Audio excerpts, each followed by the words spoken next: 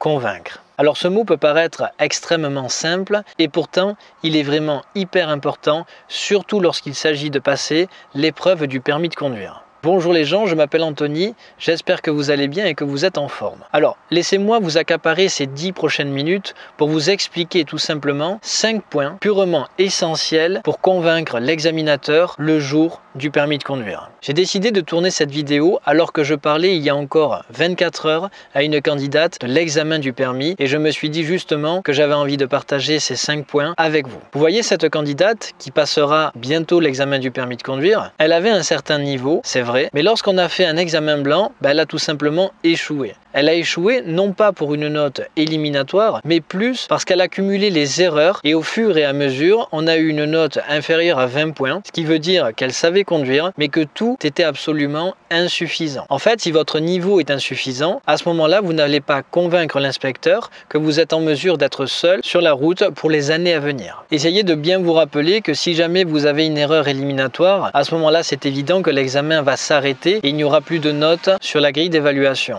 Ce que je à tout prix que vous reteniez à la fin de cette vidéo, c'est que vous reteniez que souvent, lorsque vous n'avez pas une erreur éliminatoire au permis de conduire, tout va se jouer en termes de points et c'est là où il ne faut pas être bon, il faut être extrêmement bon. Alors écoutez bien, la première des choses, c'est évidemment de respecter le code de la route, mais aussi les autres usagers, notamment les plus vulnérables. Écoutez bien ce que je suis en train de vous dire, parce que vous allez me dire, oui, mais de toute façon, je passe le permis, le code gelé, ça veut bien dire que du coup, ça sert à rien ce conseil. Eh bien, détrompez-vous. Cette candidate, après avoir échoué à l'examen blanc, à la fin, lors du bilan, je lui ai surtout rappelé de se rafraîchir la mémoire en relisant le bouquin de code, en regardant certaines de mes vidéos, même encore en faisant quelques exercices. Pourquoi? Parce que le code, vous l'avez peut-être obtenu il y a un mois, six mois, deux ans, et même si vous l'avez obtenu il y a quelques temps, n'oubliez pas que tout ça c'est loin derrière vous, il s'est passé du temps, vous l'avez certainement oublié. Quand je parle du code de la route, je parle des règles de circulation, des panneaux, des marquages et de tout ce qui pourra vous apporter une aide. Voyez, si par exemple vous avez une situation avec un cycliste devant vous et que vous savez même pas si vous pouvez dépasser ou pas, vous risquez à ce moment-là d'échouer au permis pour une erreur de code de la route. Je vous le dis très honnêtement, chaque année, je dois avoir peut-être 10 à 15 candidats qui au permis tout simplement parce qu'ils ont oublié ces fondamentaux.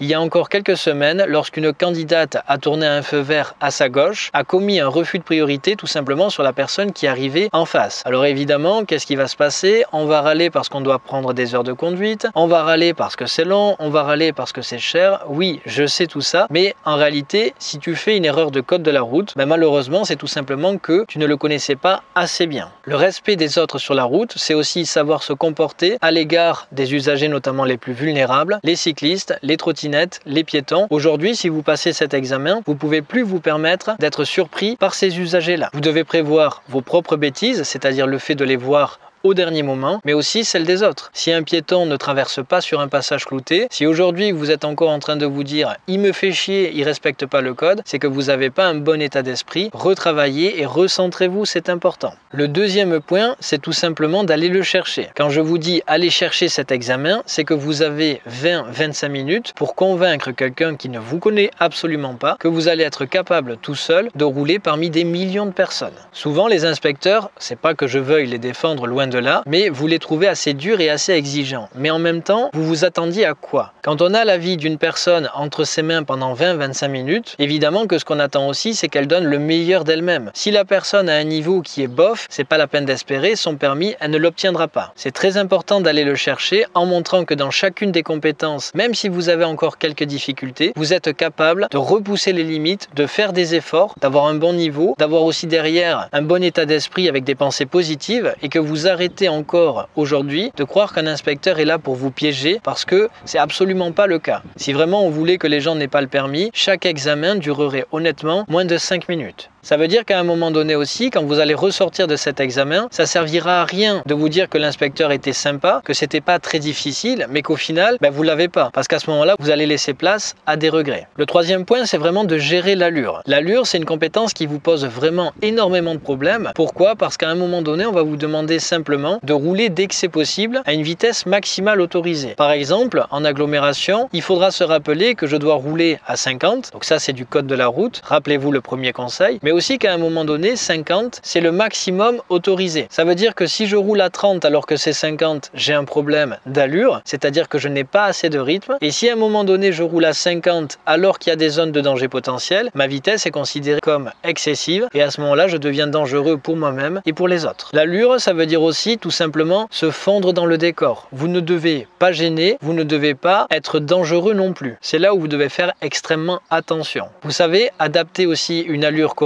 c'est faire preuve de sécurité. Et là aussi, j'insiste bien, c'est encore une fois convaincre quelqu'un que vous êtes capable d'être tout seul sur la route. On veut pas des gens qui se traînent et on veut pas non plus des gens qui ne réfléchissent pas et qui se trouvent derrière un volant. Je vous rappelle que la voiture, ça peut très facilement devenir une arme. Quatrième point, lui aussi extrêmement important. Soyez précis. Quand vous regardez la grille d'évaluation du permis de conduire, il n'y a pas une compétence aujourd'hui que vous ne connaissez pas. C'est pas possible. Même si vous avez forcément vos faiblesses et vos points forts, on n'est pas aujourd'hui en train d'inventer quelque chose que vous ne connaissez pas. C'est pas possible. Sinon, malheureusement, c'est que vous avez été quelque part mal informé ou mal préparé. Être précis, ça veut dire que quand je regarde cette grille-là, il faut que je sois précis dans mes clignotants. S'il y en a un qui saute, il faut tout de suite penser à le remettre. Être précis dans mon placement, non, je reste pas en plein milieu de la route quand je tourne à droite et à gauche, sinon je vais complètement gêner les autres conducteurs. Je dois être précis dans mes contrôles, c'est pas que un rétro, puisqu'au final il faut un, deux rétros, contrôler l'angle mort quand ça va être nécessaire. Et c'est aussi être précis par exemple lors de vos manœuvres. Il y a quelques jours, j'ai reçu un commentaire où une personne me disait est-ce que lors de mon créneau, je vais pouvoir descendre le rétroviseur droit pour me situer par rapport au côté droit? Je lui ai gentiment répondu que si on faisait ça, à un moment donné, en termes de sécurité, ça allait pas être tip top parce que ça veut dire qu'à un moment donné, je vais vraiment beaucoup reculer qu'avec du rétro. Donc j'ai de grandes chances d'oublier tout ce qui est angle mort et donc partie non visible depuis le poste de conduite. Et à un moment donné aussi, ça veut dire que si je ne fais que du rétro et que je prends le temps malheureusement de baisser mon rétro, je risque de gêner la route. Attention, soyez précis dans ce que vous faites. Je compare beaucoup l'entretien d'embauche avec l'examen du permis de conduire parce que j'ai très peu de temps pour donner le meilleur de moi-même. Et d'ailleurs justement, c'est ce 5 points qui selon moi est indispensable pour convaincre un examinateur, c'est de donner tout simplement le meilleur de soi-même. Alors, vous pourriez vous dire ouais, moi je suis pas concerné par ça parce que de toute façon, je vais faire bien le jour du permis. Jouez pas un rôle, ça sert à rien. L'inspecteur est habitué et puis l'inspecteur le verra de toute façon. Donner le meilleur de soi-même, ça veut dire qu'à un moment donné, je vais pas laisser place au regret et je vais vraiment me battre jusqu'au bout de l'épreuve. Voyez, si au bout de 5 minutes par exemple, vous prenez une réflexion de la part de l'inspecteur parce que vous êtes mal placé lorsque vous tournez à droite, vous avez deux personnes. Celle qui va se dire mince, j'ai loupé mon permis et qui va s'écrouler, et celle qui va se dire ok, la prochaine fois que je vais devoir tourner à droite, tu vas voir de quel bois je me chauffe et tu vas voir aussi si c'était une erreur qui était juste occasionnelle ou au contraire une mauvaise habitude que je fais à chaque fois que je vais tourner à droite. Vous devriez vraiment retenir qu'aujourd'hui le plus important ça va être de vous battre et de montrer que même s'il y a des erreurs et que tout n'est pas parfait, ça reste vraiment occasionnel. Voilà les gens, c'est tout pour aujourd'hui. J'espère que cette vidéo vous a appris quelque chose et vous aura au moins foncièrement aidé. Partagez votre témoignage dans les commentaires. Si vous avez un autre conseil à prodiguer, c'est évidemment avec grand plaisir. Et n'hésitez pas à me dire dans les commentaires comment s'est passée votre épreuve du permis de conduire. On se revoit bientôt les gens, à plus